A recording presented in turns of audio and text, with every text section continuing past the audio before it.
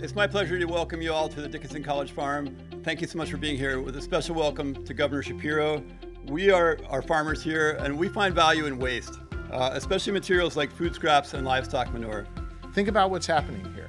They are turning waste literally into energy. Converting waste into biogas, a burnable, renewable, carbon neutral energy source, is actually very easy. Just mix some cow manure with water, warm it up, and keep out the air. Anaerobic digestion will happen and biogas will result. Add some food waste and the biogas production doubles.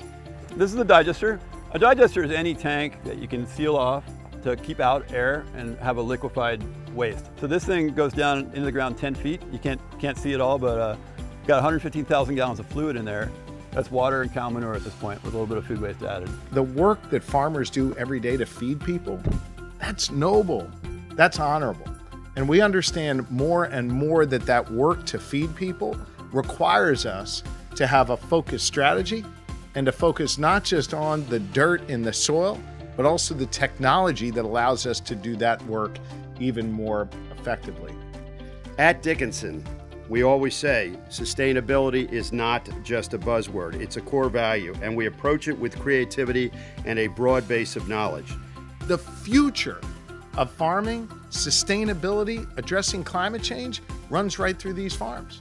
And I'm grateful for the commitment that Dickinson has made. What you've built here at the Dickinson farm should be a model for the rest of Pennsylvania.